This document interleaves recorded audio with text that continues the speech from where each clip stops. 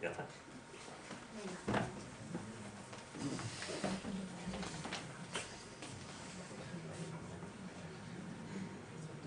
Bueno, vamos a ver. Yo tenía que puesto un descanso entre paréntesis por si se hacía o no. Pienso que no llevamos tanto tiempo. no estamos tan cansados como para este descanso, por lo tanto os propongo continuar. ¿vale? Y por lo tanto, pues Miguel Ángel Leal, del Grupo de Instrumentación Electrónica y Aplicaciones, nos va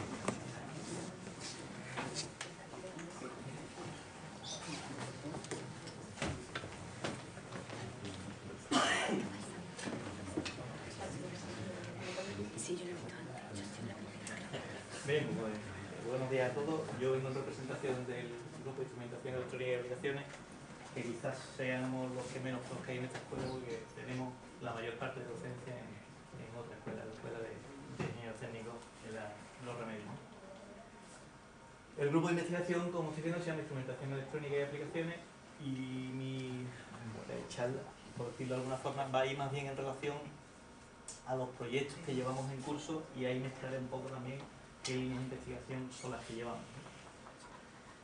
Eh, por un lado, no sé si mi compañero Edgardo me lo ha puesto más fácil o más difícil, porque varios de esos proyectos que llevamos son en colaboración con su grupo de investigación. Entonces, aquí yo creo que me lo ha puesto muy fácil, tengo que decir un poco. Participamos en proyectos de tarea de minería de datos, el proyecto MIDES que ya comentó, dicho, ha comentado el miembro de- del grupo de investigación. Entonces, todo eso, eh, son fraudes en la red, como él ha dicho, y bueno, yo añadiría un poquillo más, que también anomalías técnicas, no solo, no solo son todos los fraudes que se aunque son la mayor parte, pero bueno, también se producen anomalías técnicas y también se detectan en este tipo de, de entornos. El otro que es el proyecto Delfo, en el que sí estoy más, un poco más implicado en la tarea de los fallos de la red eléctrica, también os lo he comentado, son proyectos que se llevan eh, mucho a la referencia tecnológica, como ha dicho Carlos, es con la empresa líder que tenemos aquí, bueno, el líder que tenemos, que es Endesa. Otra de las líneas que se llevan con otro de los integrantes del grupo es el, como sabéis, la, para la gestión de las redes de telecomunicaciones son bastante heterogéneas. Cada marca, cada, cada gente, cada monta su propia estructura, su propia arquitectura. Entonces la gestión se vuelve un poquito compleja. Entonces lo que se intenta es hacer arquitecturas inteligentes con sistemas de texto distribuidos para que gestionen eso de forma bastante más eficiente. Y a raíz de eso también surgió sobre la misma línea de investigación lo que ya ha comentado el, compañero Carlos Leo sobre la web semántica en la ingeniería ontológica. Entonces la cuestión es extraer recuperar esa información de distintas redes de información, incluso como estoy viendo se puede extender Internet desde el punto de vista, no sé, el, ejemplo típico, el ejemplo que, que me comentaba el compañero, si tecleáis la palabra radio, ¿no? entonces saber extraer un poco de qué entorno estamos diciendo y que si estamos eh, en un entorno automovilístico, porque nos hable del radio del coche y no nos hable pues, del elemento radio o no nos hable de ondas de radio. Entonces, por ahí un poco el- las líneas de, de ese tipo de proyectos. Y después también lo comentaba Carlos, los sistemas basados en, en casos y metodologías para el autoaprendizaje en la web. No solo cada vez que dé una cierta información o que dé un- una determinada información, que eso pues, hay autoaprendizaje para futuras consultas puede devolver esa misma respuesta. En línea con eso, proyectos concretos son los asistentes, por ejemplo, asistentes virtuales en, en web, como se está haciendo para el portal de la Universidad de Sevilla, también sistemas multiagentes, que es el avatar que comentaba antes de un profesor virtual en, en Second Life, que tiene también, como sabéis, montado la Universidad de Sevilla y son pues, proyectos concretos sobre esas líneas de investigación. Algo que se separa ya bastante de todo esto es el, eh, las plantas desaladoras. Hasta relativamente hace poco esos proyectos se iniciaron allá por el 98, 99, o sea, hace ya más de 10 años. Las plantas desaladoras eran eh, elementos tremendamente grandes que se encargaban más o menos a medida y se tenían que montar eh, directamente en la planta. Entonces eran aparatos muy costosos, no solo por la elaboración y el diseño que conllevaba, que se hacían a medida, sino que luego había en la instalación hacían falta bastantes técnicos.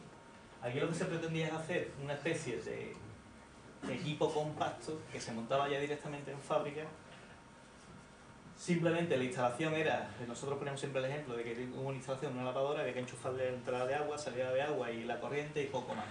El sistema se controlaba de forma totalmente automática, eh, se regulaba si los parámetros del agua cambiaban con una serie de sensores y demás. Entonces lo que le, añadimos es ese, ese, elemento fundamental que abarcaba mucho el coste, la autodetección de anomalías y por supuesto la telesupervisión mediante tecnología móvil la cuestión de no hacerlo por cable, pues la mayoría de las veces eran en entornos en que estaban pues, perdido la mano de Dios en medio del campo, entonces había que hacerlo con esas tecnologías. Si no, si la teníamos disponible, claro. A raíz de esos proyectos fue, surgió una empresa Spinoz, que es la empresa idea con la que se sigue colaborando y se siguen haciendo este tipo de, de desarrollos de proyectos.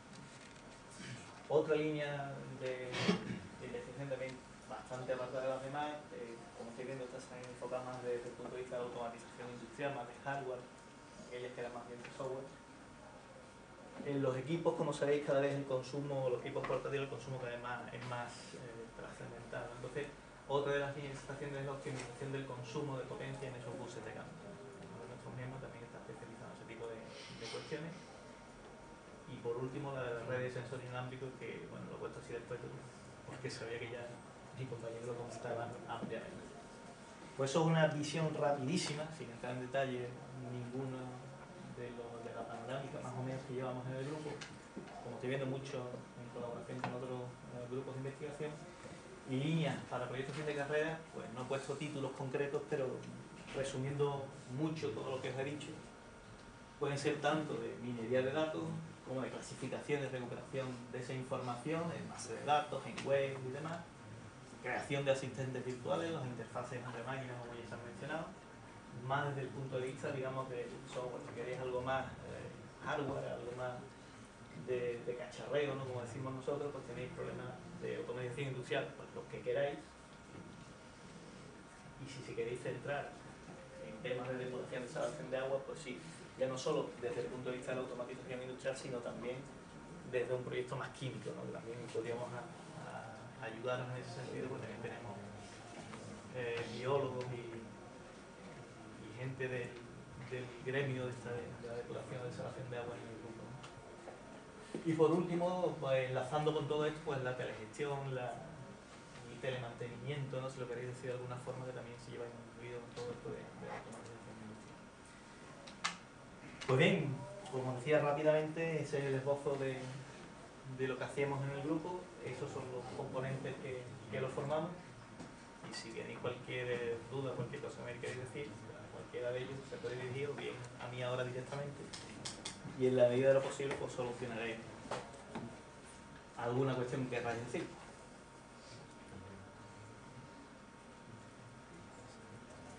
Sin ninguna aclaración. Eso es todo por mi parte.